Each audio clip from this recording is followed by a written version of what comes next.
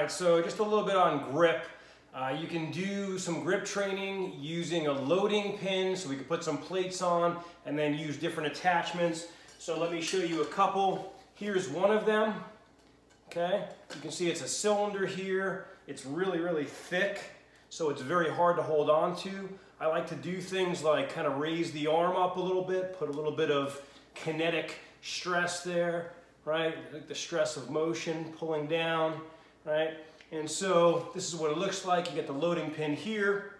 And again, we can load different pieces onto here. So let me show you two others.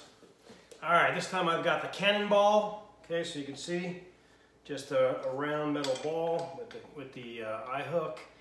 And so again, we can move it around a little bit. You can just do static holds for these. And believe me, just holding it for a period of time, especially if you weight it even heavier.